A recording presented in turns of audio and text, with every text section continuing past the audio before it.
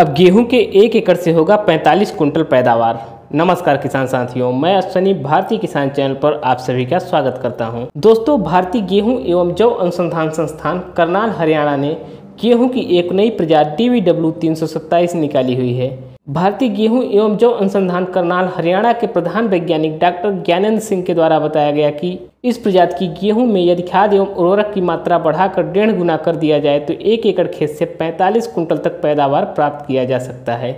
इसको 2022 में ट्रायल के रूप में 8000 किसानों ने लगाया था, जिसका औसतन उत्पादन 45 कुंटल प्रति एकड़ प्राप्त हुआ था।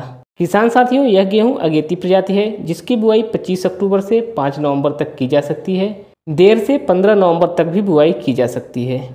लेकिन देर से बुआई करने से पैदावार में गिरावट देखी गई है। इसके पौधे की लंबाई अट्ठानवे सेंटीमीटर तक होता है। बुआई के सत्तानवे से अट्ठानवे दिन बाद बालियाँ निकलना शुरू हो जाती है। एक बाली में 80 से लेकर 90 दाने होते हैं। पकने में 155 दिन का समय लगता है।